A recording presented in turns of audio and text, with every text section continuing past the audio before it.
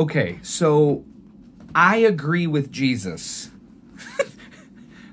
I know. What a way to start this off. Just in case you're wondering, I really do. I, I believe whenever Jesus says in Mark chapter 2, uh, verse 27, that the Sabbath was made for man, not man for the Sabbath. I believe that.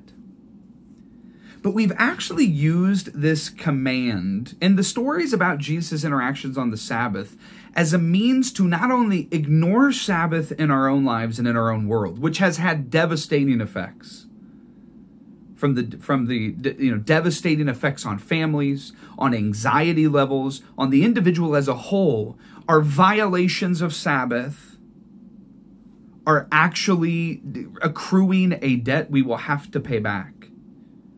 I had a mentor once tell me, he said, Shane, if you do not practice Sabbath during your life, God will just add all that you owe on the Sabbath to the end of it. But, but, but truthfully, even the concept of the command of the Sabbath, that's not really what I want to get at right now. That's not really what I want to talk about. I want to talk about the heart behind Sabbath laws.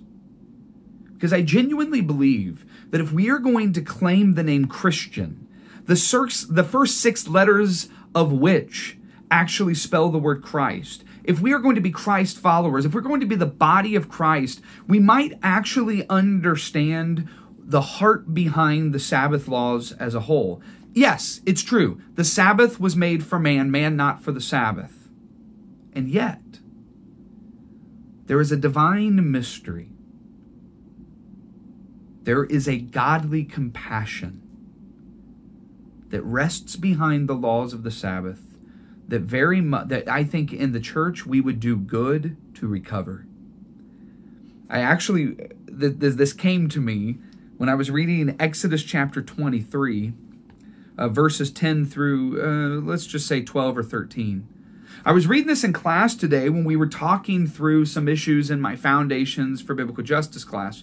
And, and I, I read this passage to them, and it struck me that the tenderness we see in this passage for all things is one that in the church we struggle to even give to our neighbor. It's called the Sabbath laws. That's the head, that's the heading I have here in my text. Sabbath laws. It says this Exodus 23, verse 10 For six years you are to sow your fields and harvest the crops. But during the seventh year, let the land lie unplowed and unused. Like, stop right there for a minute. When we think of the Sabbath, a lot of times we think of the seventh day where the Lord provides us an opportunity to rest. And the Lord on the seventh day says, I require nothing of you. Your obedience to me is for you to simply rest to heal, to recharge, to connect with me on a deep way by clearing out all of the work so that a tender fruit can emerge. And God looks at us Christians and He says, And I expect you to do the same for the earth. this isn't a tree hugger issue. This is the heart behind the Sabbath issue.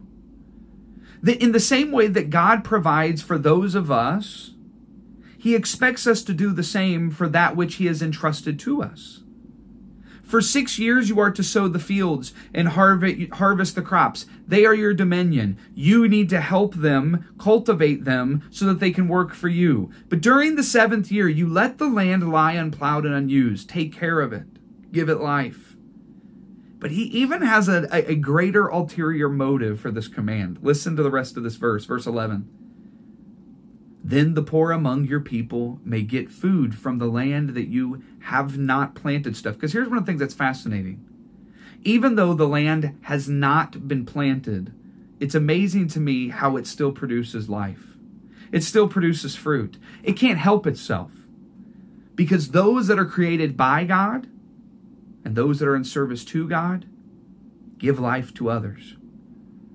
On the seventh year don't don't sow your fields don't harvest the crops. Instead just let the land lie unplowed and yet it still produces fruit. But that fruit god says i want it to be present for the poor among your people that they may get food from it and the wild animals may eat what is left. God is not just intent on bringing life to the ground, but He's also intent on bringing life to the poor, and He's also intent on bringing life to the wild animals.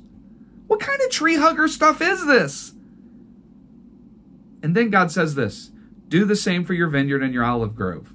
I'm not just talking about the crops that, that you're planting, I'm also talking about everything, everything I've entrusted to you. Verse 12 Six days do your work but on the seventh, do not work. He's also worried about taking care of you. But then also notice this on the seventh day, you don't work to take care of you, sure. But listen to the rest of verse 12 so that your ox and your donkey can rest also. He's worried about giving life to all of it. And so that the slave born in your household and the foreigner living among you may be refreshed. God says, Listen, I am a God of life. I am a God that doesn't just give life, but tends to the life, takes care to produce life in you, in the earth, in the wild animals, in the domesticated animals, in the foreigners, in the, in the immigrants, and in, in the poor, in all things. God gives life. And every week, whenever we Sabbath, we are reminded that as Christ followers, we are commanded to do and to be the same. Givers of life. Those that care not just for our own self interests, but those that care to give life to everything that God has entrusted to us. From the home we live in to the grass that covers our lawns, to the food that we eat, to the children that we raise, to the animals that we love, and to the broken world that is in desperate need of a Sabbath. My prayer is that this week you will open your eyes to the ways in which God is guiding you to be a Sabbath to the people, to the plants, to the world around you. So that maybe, just maybe,